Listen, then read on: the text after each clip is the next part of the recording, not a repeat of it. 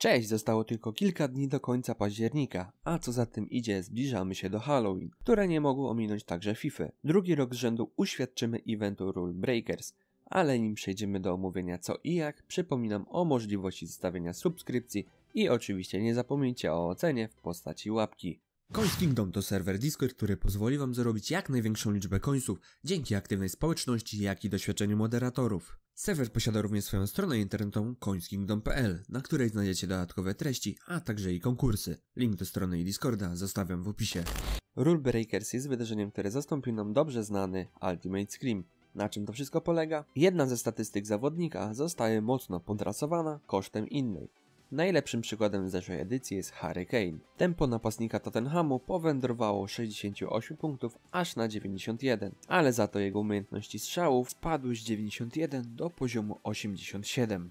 Jak łatwo zauważyć, dostajemy jakąś ekstra umiejętność kosztem innej. Daje to sporo nowych możliwości przy budowaniu składów. Karty, które na pierwszy rzut oka nie zachęcają do umieszczenia w składzie, dzięki temu eventowi mogą otrzymać drugie życie.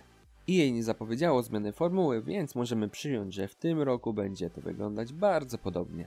Pierwsze przecieki mówią, że w drużynie znajdzie się Ousmane Dembele. I jest to bardzo mocno prawdopodobne ze względu, że sporo wiarygodnych źródeł o tym wspomina.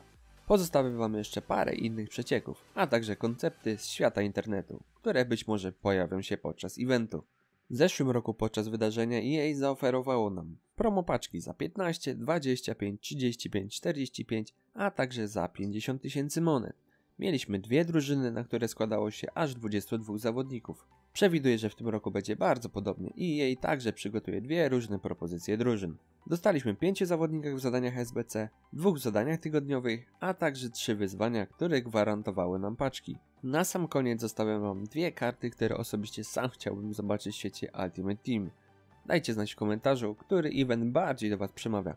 Rule Breakers czy klasyczny Ultimate Scream. Jestem ciekaw waszego zdania na ten temat. Na dziś to będzie wszystko, dzięki za uwagę i do zobaczenia w kolejnych materiałach.